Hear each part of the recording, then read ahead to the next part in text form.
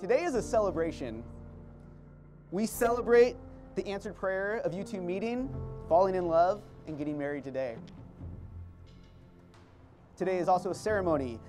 The institution of marriage was God's idea from the beginning, and therefore all the glory goes to Him.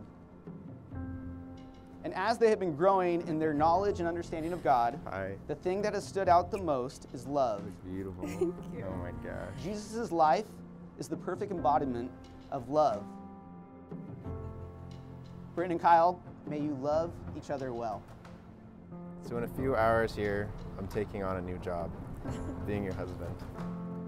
I promise to love you and only you. I promise to be your biggest fan and closest friend. And as I try to do most things in life, I want to do this to the best of my abilities. I love you, Kyle Andrew Piper. And I commit my life to you, every single portion. I don't want to be the best husband in the world. I want to be the best husband for Britton.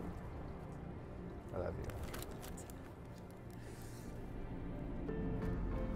So, Kyle and Britton, as a minister of the gospel of Jesus Christ and as a licensed pastor in the state of California, it is now my honor to pronounce you as husband and wife. What God has brought together, may no man tear apart.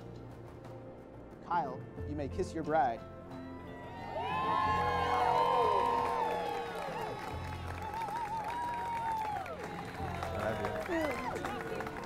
Mr. and Mrs. Piper.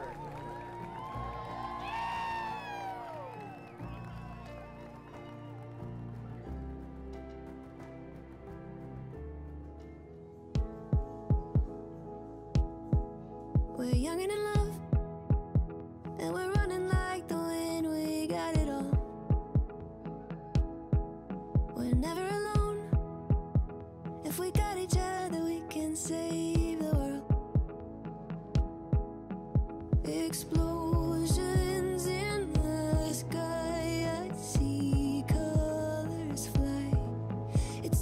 colors